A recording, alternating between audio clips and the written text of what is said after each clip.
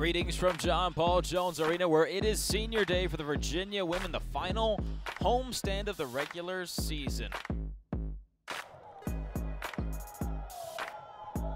Toussaint's going to slip inside, high off the glass. Her layup is true. Willoughby now. For Aliyah Hugh with 12 to shoot. Aliyah went to the ground. Physical defense applied from Davenport and a turnover. Miami going the other direction. Gray, coast to coast. Her layup is in in transition. Toussaint, a nice entry pass, a lob for Felicia Aiyeotan, who slipped behind the Canes front court and put in the layup.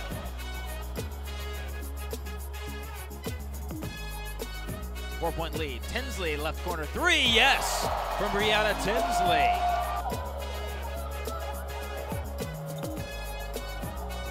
Just a change of look, tried to disrupt rhythm. Hof found her way inside on the left baseline for Gray. Defended by Toussaint.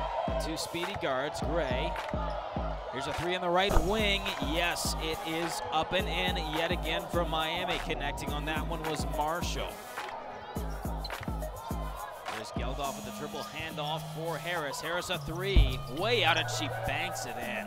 Driving to the rim, trying to either throw a lob or a shot. I couldn't tell was Marshall. Virginia motoring the other direction quickly. Huland El Ball fake from Toussaint, pulling up for three. Yes, a critical basket there. Toussaint, Toussaint, is she going to drive? She will. Oh, my. Step, pretty move. Cupping it with her left hand and scooping at the hoop for the deuce. Brown now top of the key. Left hand dribble. Miami switching its defense right now. Willoughby a three. Finally, Jocelyn gets onto the board. Miami leading by 12 here. Tied up under the basket. A second chance, no good for Davenport. A third chance, finally, she gets it to go through the cylinder.